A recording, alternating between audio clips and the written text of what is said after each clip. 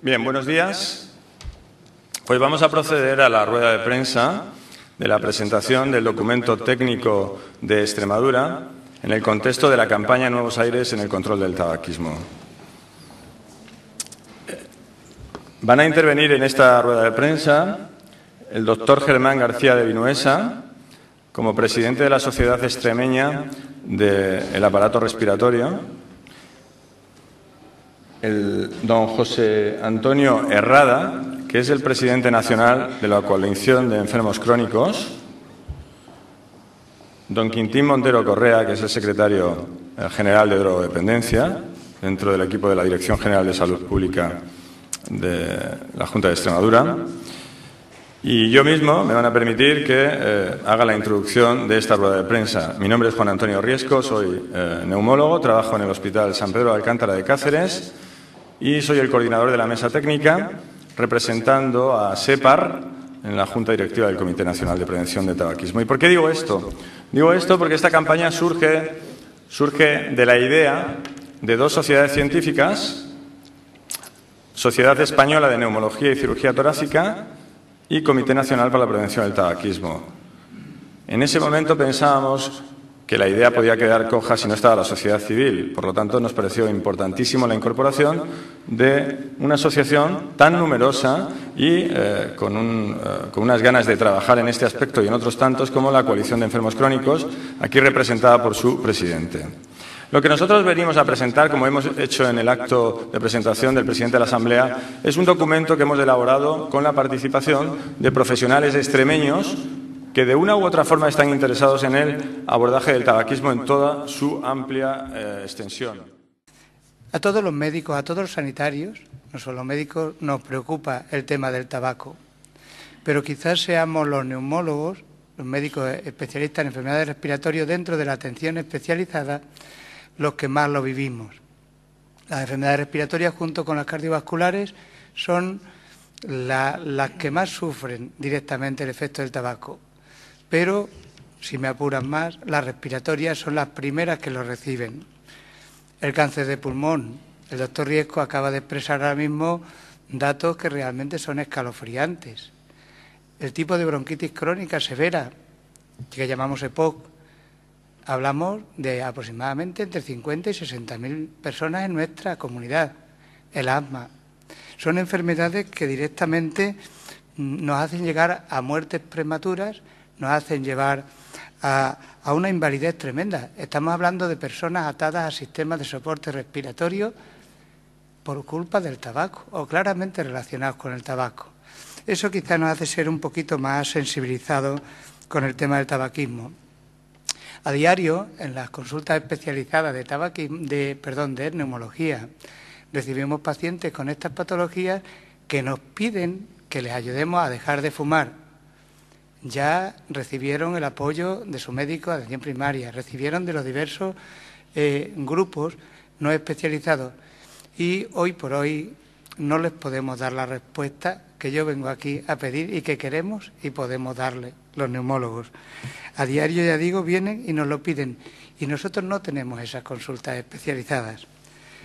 Los neumólogos hoy día en Extremadura tenemos casi todo lo necesario para atenderlo tenemos los recursos técnicos para hacer una valoración respiratoria y una valoración y abordaje del tabaquismo. Tenemos los recursos humanos.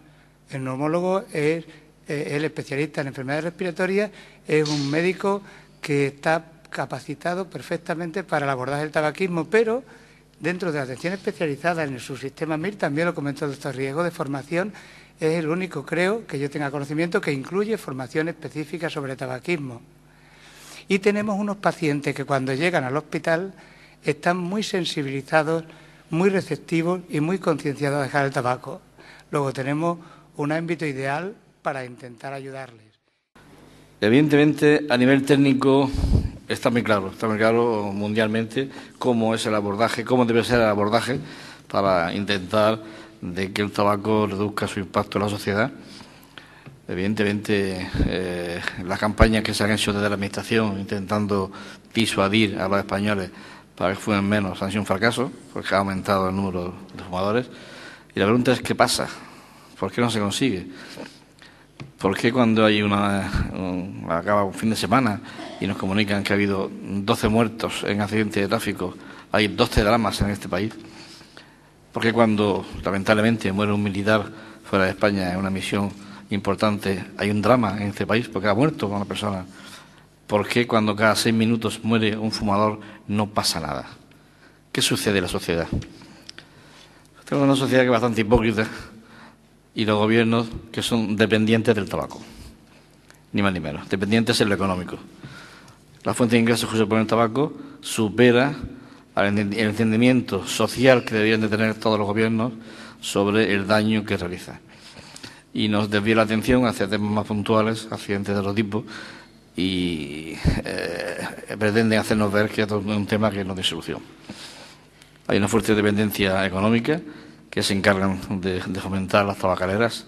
Además hay una fuerte campaña desde las em, compañías de tabaco eh, haciendo presión social, contratando bufetes de abogados importantísimos, gastándose cientos de miles de millones en contracampañas, haciendo llegar mensajes a los trabajadores de la hostelería de que si se, quita el tabaco lo van, se van a quedar sin, trabajo en la calle. O sea, hay toda una campaña de quien gana mucho dinero, no quiere dejar de hacerlo, si puede, quiere, quiere ganar más y realmente pues eh, se ven muy presionados los gobiernos y de forma paradójica quien antes también defendía que se dejara de fumar y financiar los productos hoy tiene la responsabilidad de Hacienda y ya hoy piensa de otra forma diferente. Ella dice que si se quita el tabaco se le cae parte del presupuesto.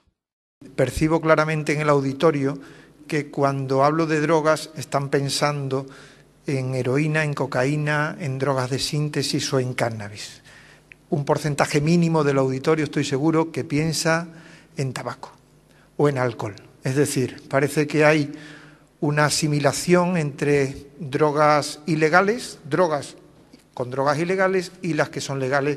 Es difícil ponerle el calificativo de drogas.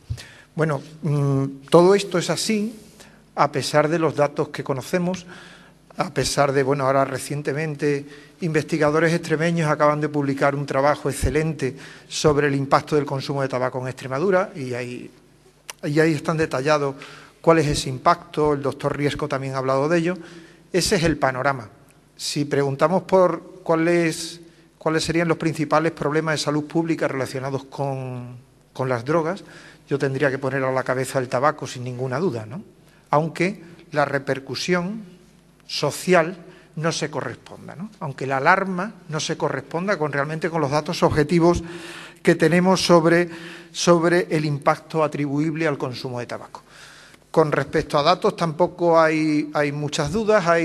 Nosotros trabajamos fundamentalmente con tres grandes encuestas, dos específicas de drogas que hace el Plan Nacional, una para población entre 15 y 64 años y otra entre 14 y 18 años, que tradicionalmente Extremadura arroja datos siempre por encima de la media nacional en cuanto a las prevalencias en tabaco. Y la encuesta nacional de salud, que bueno, abarca a partir de los 16 años y más, que ofrece unos datos similares. Este es el panorama que tenemos. Y ante este panorama, mm, lo, que, lo último que se está planteando y, y ahora mismo lo acaban de nombrar, se está planteando la reforma de la Ley 28-2005. El Observatorio de Tabaquismo se lleva reuniendo, nos hemos reunido ya un par de veces en lo que llevamos de año, y la reforma de la ley parece ser que pretende como objetivo fundamental el proteger la protección de la salud de todos los ciudadanos frente al humo ambiental de tabaco. Este es el gran objetivo, pero con dos particularidades haciendo hincapié en dos cosas fundamentalmente. Una en los trabajadores de hostelería y dos en los menores de 18 años. Esto es lo que se está planteando con eh, la reforma de la ley que, como acabáis de escuchar, parece que en junio se va a ofrecer un primer, un primer texto, ¿no? Pero eh, la línea de trabajo va por ahí, el objetivo y el objetivo va por ahí.